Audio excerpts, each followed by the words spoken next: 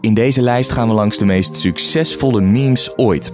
Langs deze gasten bijvoorbeeld van het filmpje Charlie Bit My Finger. Zij hoeven zich dankzij hun viral geen zorgen meer te maken over hun bankrekening.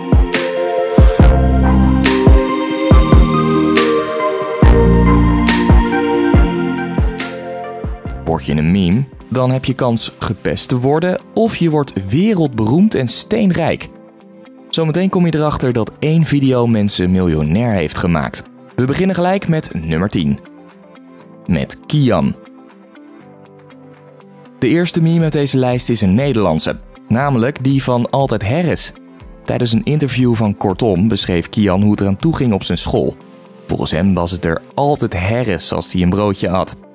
Deze uitspraak in combinatie met zijn leuke karakter zorgde ervoor dat hij een hit werd. Niet lang daarna werd Kian ook gevraagd voor samenwerkingen. Zo heeft hij samen met Kortom een nummer gemaakt, mocht hij verschillende merken promoten op zijn Instagram en kreeg hij ook zijn eigen merchandise. Voor al die samenwerkingen kreeg hij betaald. Hoeveel precies is onduidelijk, maar totaal zal het bedrag minimaal 10.000 euro geweest zijn. Nummer 9. Bad Luck Brian. De volgende meme is Bad Luck Brian. Een leuk feitje hierover is dat de jongen op de foto helemaal geen Brian heet. Zijn echte naam is Kyle Graven. De foto werd in 2012 op Reddit gezet door Ian Davies. Ian was de vriend van Kyle. De twee jongens hadden expres hun best gedaan om zo stom mogelijk op de schoolfoto te staan. Vlak voor de foto wreven ze hun rode sweater in hun gezicht om een nog roder hoofd te krijgen.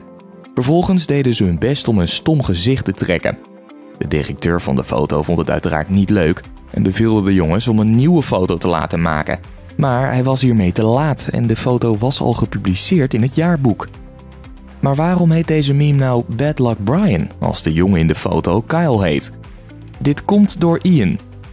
Toen hij de foto uploadde op Reddit vond hij dat Bad Luck Kyle niet zo lekker klonk en dus werd het Brian. Achteraf was dit een goede keuze.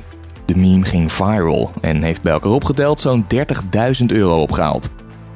Nummer 8. Glowy. Glowy is de meid achter de meme genaamd Side-Eyeing Glowy. De foto wordt vaak bij memes geplaatst voor ongemakkelijke of bezorgde situaties. Deze foto werd uit een video gehaald die in 2013 werd geüpload. Chloe, het meisje uit de foto, kreeg van haar moeder te horen dat ze als verrassing naar Disneyland zouden gaan. Haar zusje was razend enthousiast, maar Chloe niet. Zij keek in de camera alsof ze tussen leven en dood moest kiezen. Deze meme werd de start van Chloe haar carrière. In eerste instantie ontving Chloe een leuk inkomen uit de meme omdat iedereen de foto gebruikte. Dit bedrag werd geschat op zo'n 100.000 euro. En doordat ze zo bekend werd, werd ze later gerecruit als model. Nu heeft ze ruim een half miljoen volgers op Instagram. Nummer 7. Success Kid. Sammy Griner is zeer waarschijnlijk de bekendste baby ter wereld. Zijn vader maakte foto's waarin hij zand probeerde te eten. Hij uploadde deze op Flickr en plotseling werd de foto overal gebruikt. Zijn vader had gezien dat de foto potentie had en besloot deze daarom te licenseren bij Getty Images. Hierdoor werd het makkelijker om geld voor de foto te vragen. Puur door de licenties verdiende de familie 150.000 euro. Jij kent de foto waarschijnlijk van memes op Instagram, maar wist je dat deze foto ook gebruikt is door het Witte Huis? In 2013 gebruikte het Witte Huis de foto in een van hun campagnes. Zo zie je maar dat memes ook hartstikke serieus kunnen zijn. Nummer 6. Numa Numa. Deze is wat ouder. Ruim 15 jaar geleden werd de video Numa Numa geüpload op YouTube door Dork Daily. In de video playbackte een man op het liedje Draco staat in T van Ozone. En tja, dat doet de beste man op een nogal opvallende manier. Op YouTube heeft de video inmiddels 60 miljoen views, maar volgens de BBC is de video in totaal ruim 700 miljoen keer bekeken. Deze views komen grotendeels van oude social media platforms, zoals Hives en MSN. De video alleen al heeft ruim 200.000 euro opgehaald. Verder heeft Dork Daily het succes van deze video gebruikt om de rest van zijn kanaal te laten groeien. De effectieve waarde ligt dus waarschijnlijk nog veel hoger. Op de vijfde plek David After Dentist. Wanneer er een kies wordt getrokken, gebruikt de tandarts gelukkig een verdoving. Hier in Nederland zijn de bijwerkingen hoogstens een scheve mond, maar in de Verenigde Staten gebruiken ze sterkere middelen. Dat levert leuke beelden op. Bijvoorbeeld voor mensen die denken dat ze in een andere wereld beland zijn. Exact dit gebeurde ook bij David. De tandarts gaf een verdoving die wellicht wat sterk gedoseerd was. David was helemaal van de kaart en in de auto gedroeg hij zich hilarisch. Hij had allerlei grappige uitspraken. Bijvoorbeeld, is dit het echte leven? En ik voel me grappig en ik heb twee vingers. Alleen op YouTube al werd deze anderhalf minuut lange video al 140 miljoen keer bekeken. De inkomsten daarvan worden geschat op 500.000 euro. Nummer 4. Keyboard Cat. De meeste memes in deze lijst komen uit de jaren 2000. Keyboard Cat valt uit de toon. Deze meme is namelijk begonnen in 1984.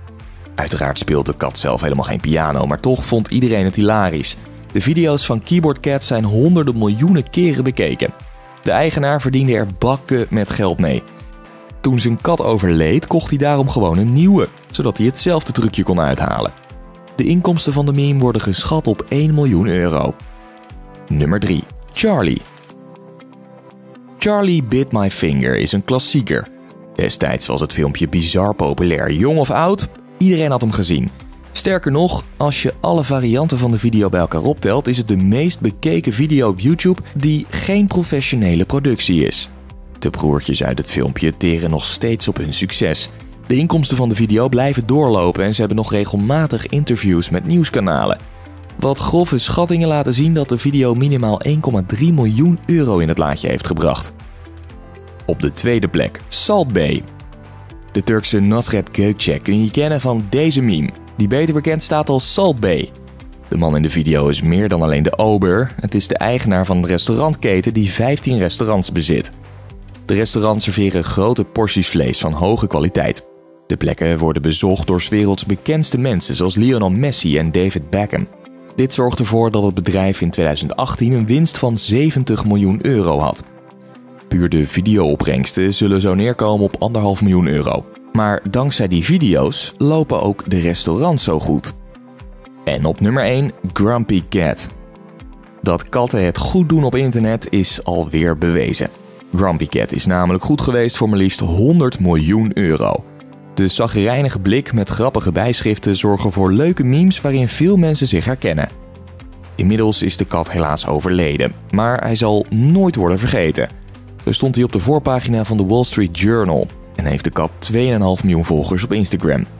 Wij vonden trouwens dat de kat verdacht veel overeenkomsten had met Maarten van Rossum.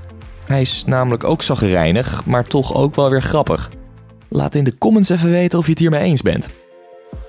Bedankt voor het kijken van deze video. Geef een like als je het leuk vond en laat reactie achter in de comments. Tot de volgende keer. Joe!